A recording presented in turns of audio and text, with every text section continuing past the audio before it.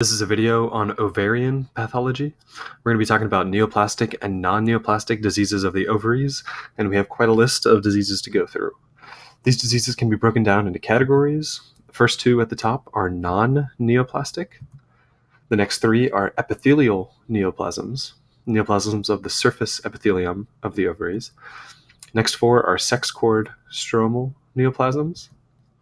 Next five are germ cell neoplasms and the last two are malignancies that involve spread of cancer to or from the ovaries. Let's get started with polycystic ovary syndrome. This is a disease characterized by two of the following characteristics. We have reduced ovulation, hyperandrogenism, which is high testosterone and the downstream symptoms of that. We also have polycystic ovaries. Polycystic ovaries can be seen in this picture here. This is an ultrasound of the ovaries. We can see a cyst right there and a cystic space right there. And if you have more than one of these cysts, it's considered polycystic ovaries. I think even one cyst in the ovaries would meet this qualification, actually. So you need to have at least two of the following to be diagnosed with this disease. Clinically, these patients present with hirsutism, which is male pattern hair growth. That usually means hair on the trunk, on the chest, and on the face, much like a male would have. You can also get acne, infertility, and often it's associated with obesity and diabetes mellitus 2, type 2. And uh, usually, obesity and diabetes mellitus have something to do with the pathogenesis of PCOS. And that's something we'll talk about in a second. Labs here show high testosterone. You have an increased ratio of LH to FSH. Usually, this ratio is greater than 2. Uh, that usually means that you have a high LH and a low FSH. You also have high estrone here from the peripheral conversion of the excess testosterone. And my way of remembering these is all of these are kind of downstream effects of very, very high LH. If you have high LH, the thecal cells are going to make high androgens, so you have high testosterone. Those androgens can then be peripherally converted to estrogens, so you have high estrone, and those estrones and those testosterones then feedback inhibit the brain to produce less FSH. So you end up having low FSH as well. On ultrasound, as we discussed, you see bilateral, non ovulated, enlarged cysts, like we see in that picture there. Cause here is thought to be hyperinsulinemia related. So, high insulin decreases a binding globulin called SHBG, that's steroid hormone binding globulin. This is a, a, protein that binds testosterone. So, if you have lower SHBG, you're going to have more androgen production and more effective androgen. Obesity also causes decreased SHBG, so that also increases the affected uh, the effective testosterone, and that leads to some of the clinical symptoms like acne and hirsutism. When diagnosing PCOS, you want to exclude congenital adrenal hyperplasia, exclude hypothyroidism, exclude hyperprolactinemia, and Cushing's disease. These patients are at increased risk of endometrial carcinoma, and this is because of the high estrogen levels. Treatment here depends on what you're looking to treat. To treat the hirsutism, you want to start with diet and exercise. Start with lifestyle modifications. Uh, you can also try some alpha, uh, some anti-androgens like flutamide, which is an androgen receptive competitive inhibitor. You can try finasteride, which is a 5-alpha reductase inhibitor, spironolactone, which inhibits steroid binding and the synthesis of testosterone. You could also use uh, OCPs, which would lower the androgens through feedback inhibition. Uh, metformin might also help to treat the diabetes that's usually associated and the insulin sensitivity that uh, leads to the hyperinsulinemia that can cause this disease. If you want to treat the infertility associated with PCOS, you might try clomiphene, which is a selective estrogen receptor modifier that is an agonist in the brain. So uh, you might also combine that with letrozole, which is an aromatase inhibitor. So both of these would kind of decrease the number of estrogens in the body, decrease the estrogen levels. And the logic behind that is that if you have lower estrogens for a short amount of time, that's going to stimulate the body to make more endogenous LH and FSH, which can lead to ovulation and maybe treat the infertility. Next is a disease called endometriosis. This is when the endometrium, the inner lining of the uterus, grows outside of the uterus the endometrial glands and stroma is present in ectopic locations. This is most often found in the ovaries, and that's why it's discussed in this video. This occurs via four proposed mechanisms. Main mechanism is retrograde menstruation, when menstruation goes backwards up through the fallopian tubes and into the ovaries. That's backwards of how menstruation should usually go. Dissemination through the lymph or blood is another proposed mechanism. This could be, this could happen iatrogenically after a surgery. Some uh, endometrial glands and stroma can be dropped in other places of the body. There's also a kind of a wild theory of spontaneous endometriosis or metaplastic differentiation into endometrial glands and stroma. Histologically, you need two of the following to diagnose. You need to actually see the stroma, you need to actually see the glands, and or you actually need to see the hemorrhage or hemosiderin laden macrophages, which is essentially the, the late hemorrhage, hemorrhage after it's been uh, swallowed up by macrophages. You need to see two of these three on histology to diagnose.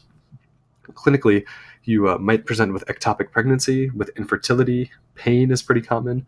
Uh, you also have pain with sex, urination, and menstruation, or just pelvic pain in general. And lastly, this can progress to endometrioid carcinoma and clear cell carcinoma. Next disease is cystadenoma. This is a tumor, a benign tumor that grossly presents as a cystic mass containing serous or watery fluid or mucinous fluid. This uh, fluid arises from the surface epithelial cells, and it has a smooth external and internal lining in the cystadenoma. Histology shows a picture here where uh, you have single cells, a flat layer at the very top of that image. So the lumen of the cyst would be above that image, and you have a flat lining of non stratified serous or mucinous adenoma. The benign this is, this tumor is benign because it's usually just a single layer of cells that's defective. Clinically, these patients are usually in their 30s to 40s, so they're premenopausal. They present pretty late when they have abdominal fullness and pain. This is also related to a Brenner tumor, which is a similar looking tumor that looks like the bladder. It's urothelium like, so it's yellow tan and pale in color. Next is the borderline tumor. Borderline tumor is kind of halfway between a cystadenoma and a cystadenocarcinoma. So this one is uh, kind of like a cystadenoma of low malignant potential. So most of these are benign, but they do have some potential to be malignant. So they should be staged to make sure. This is also common in younger patients, premenopausal. Grossly, you see a cystic mass with internal nodules and excrescences.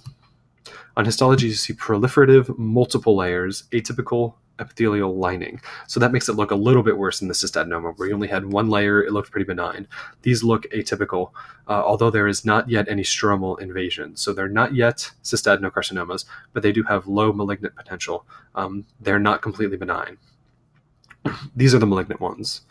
Grossly look like thick, jagged uh, lining. They have internal papillary excrescences.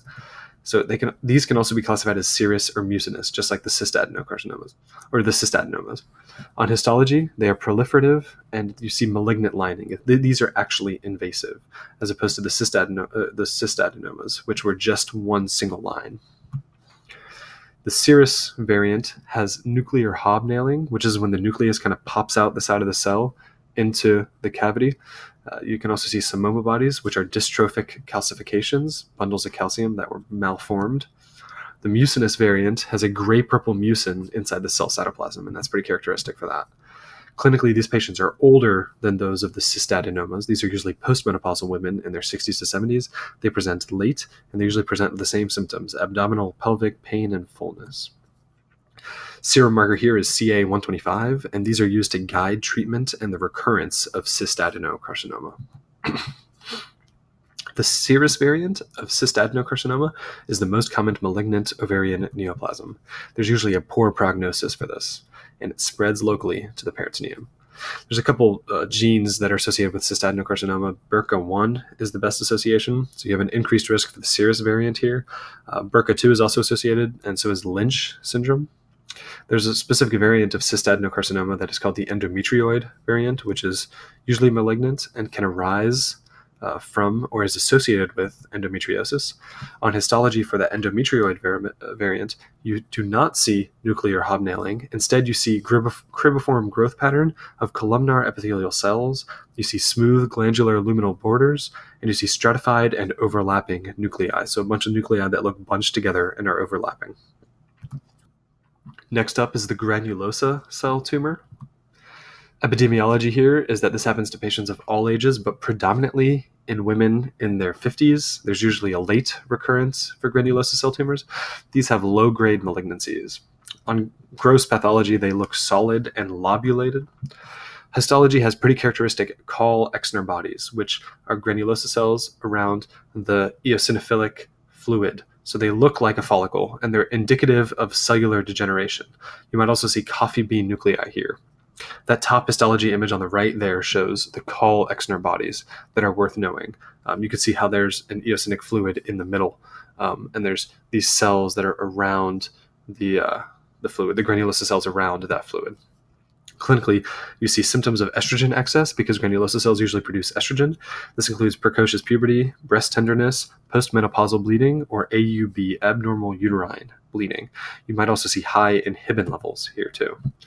Next up is thecal cell tumor, or theca cell tumor, or thecoma. Many names for this. Epidemiology here is that's pretty common.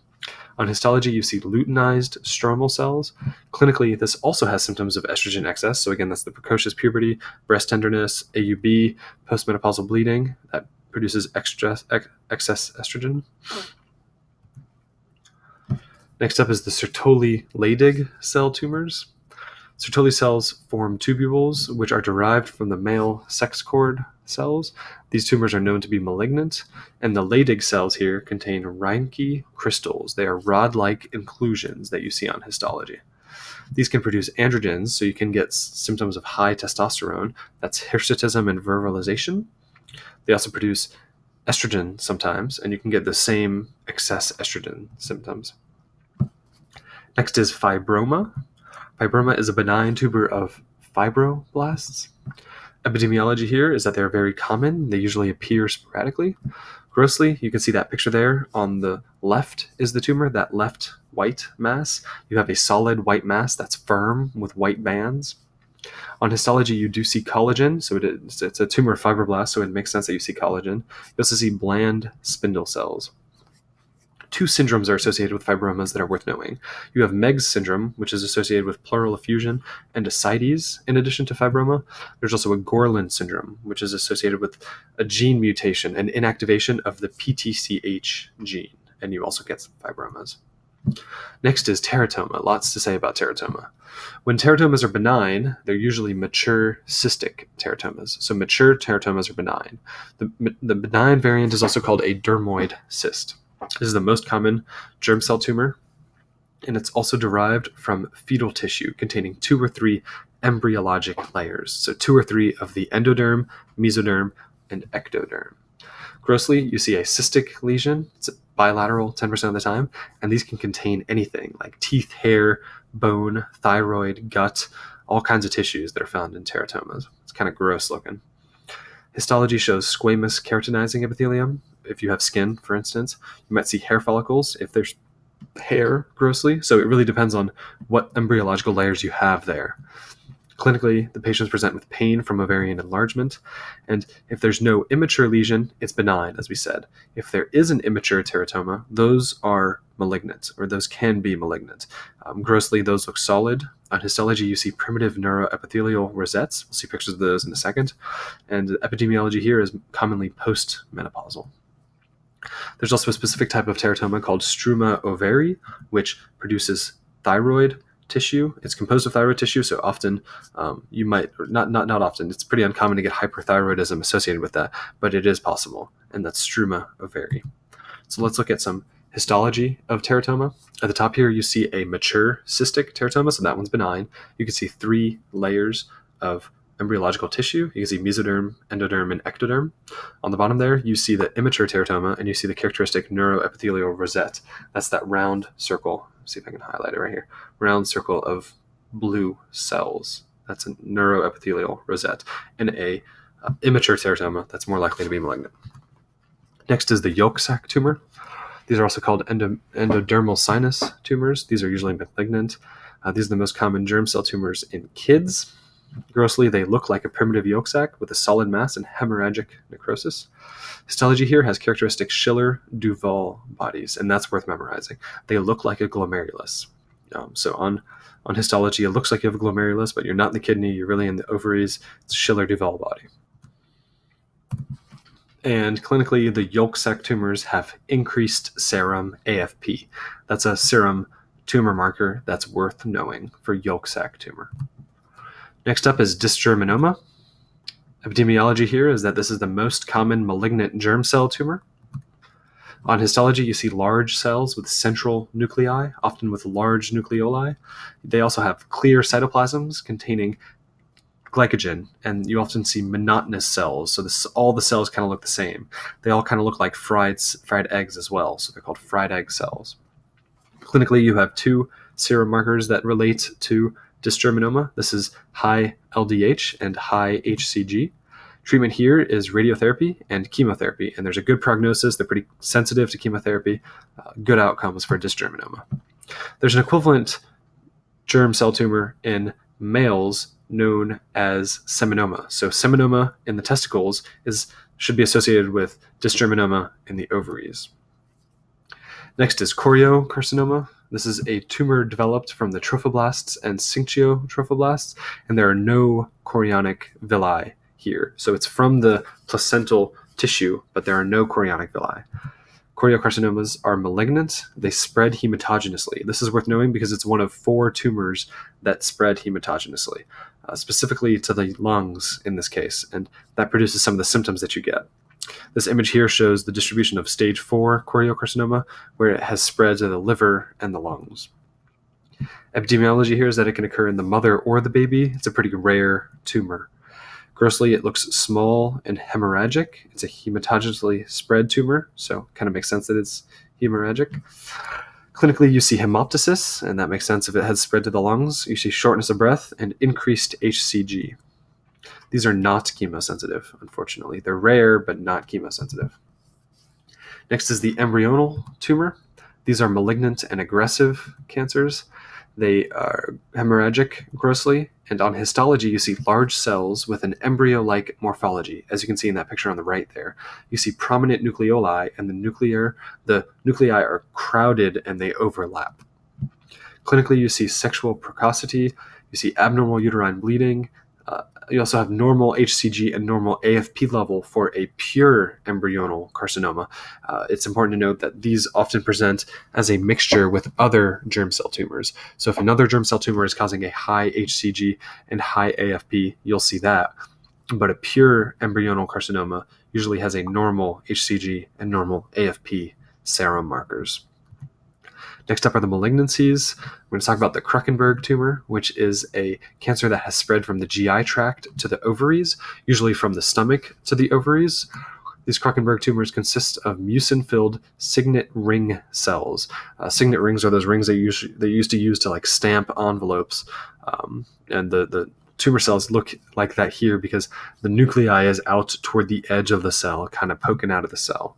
So that's what we see histologically as well, the signet ring cell morphology.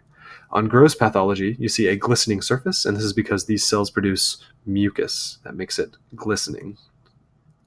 Lastly, we have the pseudomyxoma peritonei, this is another malignancy, this time in the opposite direction. This malignant cancer spreads from the ovaries to the intraperitoneal organs, whereas the Krukenberg came from the GI tract, usually the stomach, to the ovaries. This one comes from the ovaries to the intraperitoneal organs. It can produce abundant mucin and gelatinous ascites. It can produce so much mucin and so much ascites that it fills the abdominal cavities and obstructs digestion and organ function. Malignancies usually come from the mucinous adenocarcinoma variant in the ovaries, although it could also come from the appendiceal tumor as well. This has been a brief video on ovarian pathologies, and we talked about several diseases. I hope it was helpful, and thank you for listening.